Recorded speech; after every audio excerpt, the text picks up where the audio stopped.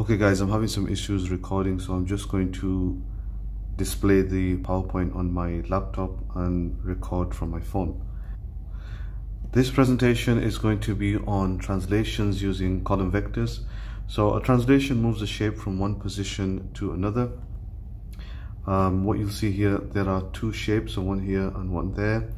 And what we're going to do is translate each of them. So the first shape moves one, two, three, four, five to the right and one, two, three up as you can see with the arrows. The second shape moves one, two, three to the left and one, two down. Again indicated by the arrows. Now we can describe the translation using a column vector. What's a column vector? It's basically like a pair of coordinates of x and y, but it's written as a column, hence it's called a column vector. And it's, li it's literally x at the top and y at the bottom. x describes the movement left and right, and y describes the movement up and down. Now, what we got to remember, what we need to remember is that we should first start off by always writing the movements as so write them as right left up down to start off with and then afterwards change that to a column vector. So 5 right is going to be positive 5 and 3 so any movement left or down is going to be given a negative value. So 3 left is going to be negative 3 and 2 down is going to be negative 2 okay this example says describe the translation taking shape A to shape B in words and as a vector. So always start off as words like I said. Now in the example it says draw the shape onto tracing paper but I am using a practical example. So I'm using I'm using my laptop similar to some of you guys are going to be doing soon. So I'm going to show you what to do. So draw the shape onto tracing paper. Obviously we can't do that. So if you did have tracing paper and it was printed out then you would just move it along and you'd find that it moves uh, 6 to the right and uh, 5 down okay? Now if you don't have tracing paper what you're going to have to do what you're going to do is you're going to take a point for example this one here and you know it's going to end up down there. So what you're going to do is take this point and count along so it's one two three four five six to the right and it's one two three four five down now double check that again with a different point. So I'm going to do it with this one down here now. So it's one, two, three, four, five, six, one, two, three, four, five. So I've checked it with two points now and both of them move six right and five down. So now I can use these words to actually convert that into a column vector. So if it's going right, don't forget it's going to be positive uh, 6 positive and if it's going down it's going to be a negative 5. Here's another example. Describe the translation taking shape C to shape D in words and as a vector. So again the same thing. So if you have tracing paper you can use that trace the shape and it's going to be 1, 2 to the left and 1, 2, 3, 4 down. Of course if you don't have tracing paper just take a point one two to the left one two three four down. And then do that again for a different one. So perhaps this one or this one. And you should find that it's going to be the same. Then you can use that to actually write the column vector. So that's going to be uh, negative 2 since it's going left and a negative 4 since it's going down. So this question here it says describe the following translations using column vectors. Uh, just be careful from you know as to which way you're going. So it says a to b.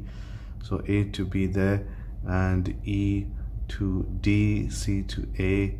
So you just have to be careful um, in which way you move.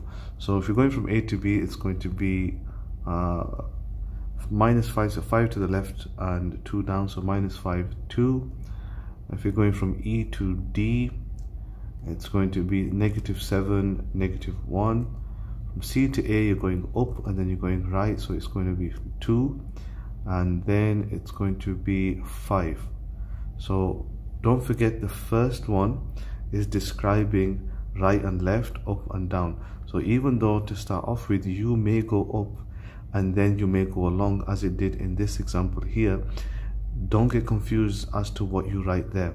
So as you can see um, in the example on this PowerPoint it doesn't write down the um, actual steps. It doesn't state it's five left and then uh, you know five right and two down etc that is going to help you so much. So that's just the proof there because here it's very easy to get that confused.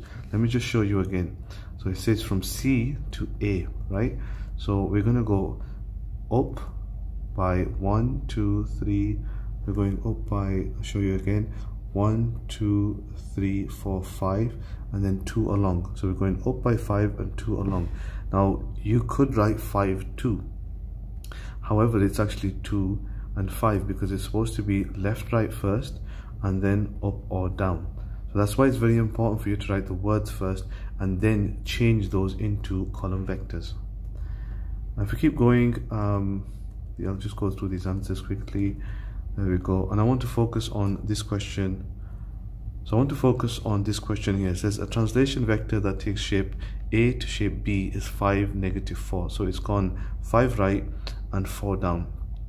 What translation vector takes shape B to shape A? Well, you're just going in the opposite direction. So you're going up by 4 and left by 5. So the numbers are going to change. Sorry, the numbers are going to be the same, but the um, negative is going to change. So it's actually going to be negative 5 this time because you're going back on yourself and that's going to be uh, positive 4. Question 5. The translation vector takes shape A um, to shape B is 1, 3. Shape B is then translated to shape C by the vector negative 3, 2. What vector takes shape A to shape C? Now in this kind of question, now in this kind of question, if you can't see what's going on, I recommend that you draw a shape and you translate it by these vectors here. What shape should you draw? Just stick to a basic square okay? Stick, stick to a very basic shape. It doesn't have to be anything like this. And just translate it by this vector and then translate it again by this vector here. It could be any size so um, it could just be two centimeters by two centimeters. So use your graph paper and make sure that you stick to the same size when you actually draw the new shape as well if you want the answer for that it should be um, negative 2 and 5 and then that should be 2 and negative 5. So in this example it says translate the following shape by the vectors 5 and negative 2. Now as you can see there are a lot of points for you to consider 1, 2, 3, 4, 5, 6, 7, 8. Um, do we need to look at every single one of them? I wouldn't because if you don't have tracing paper it's very difficult to do every single one. So just pick one uh, I would pick one, two, and three. And then you can actually see the shape and it's going to be very simple for you to draw that. How it should look, again, draw the shape on tracing paper. That's what it's asking you to do. Five to the right and two down. So what I would do personally, I would take this corner here and draw it there. And I know for a fact it's one, two, three, squares down. So I don't really need to do this one alright I just I just need a starting point. And then I know it's two squares along so I'm not going to bother doing this one either. But what I am going to do is this one right there. So I'm going to translate that. So it's going to be one two three four five to the right and one two down. Okay I've got that correct. And then I would probably do this one here. So one two three four five and then 1 2 once you've got those three at least you should be able to fill in the rest of the shape because it's going to be exactly the same dimensions as the original shape